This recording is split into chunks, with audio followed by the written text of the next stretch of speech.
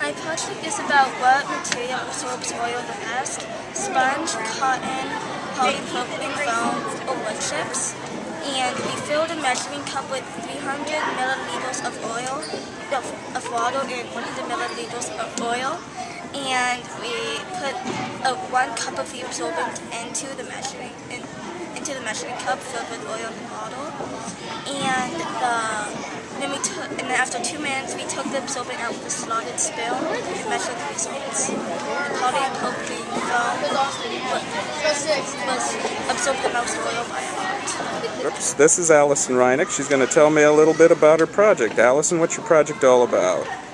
Um, my project is about what is the best guinea pig bedding. I wanted to do this project because my family has tried various types of guinea pig bedding in the past two years since we've had our guinea pigs.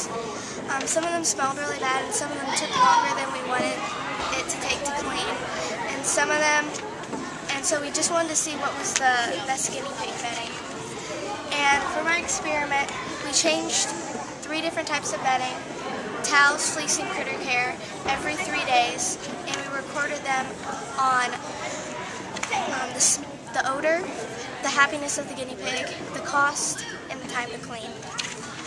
And the happiness we judged off of five different criteria. How, how comfortable the guinea pigs were, were they lounging or resting comfortably, were they making, were they, did they have signs of um, unhappiness, or did they seem to be happy? And the odor of the bedding, the how clean the bedding was, and how dry the bedding was.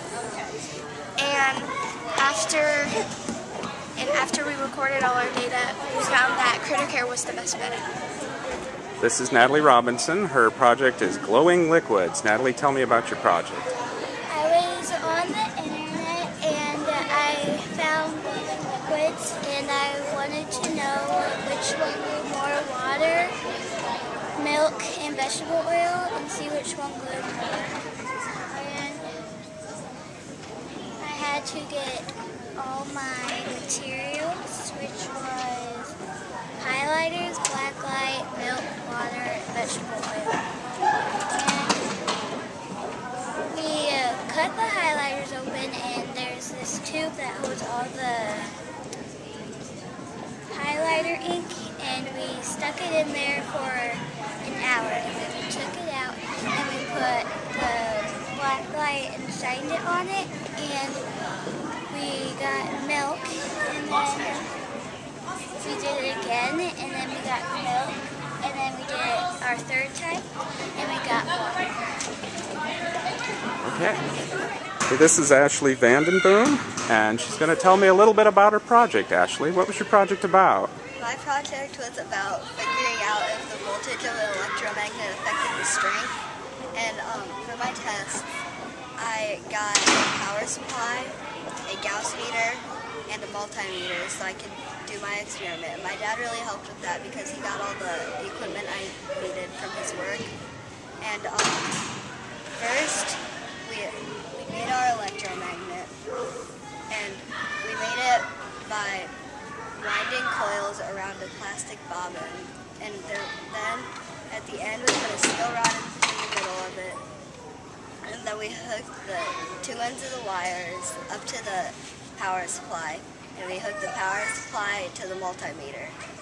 And then um, we taped our magnet down to the table so it didn't move. And uh, then we placed our Gauss meter a quarter of an inch away from the electromagnets to, so it could measure the strength. And what we did for the experiment was we adjusted the voltage to 0.0 volts and increased by 0.5 volts every time all the way up until we finished at 6.0 volts.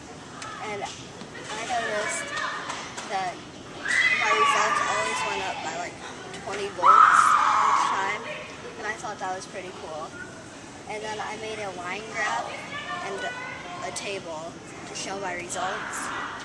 And my hypothesis at the beginning was if the voltage increases, then the strength will also increase. And the showing of my results my conclusion was correct because the voltage, every time we increase the voltage of the electromagnet, the strength al- also increased.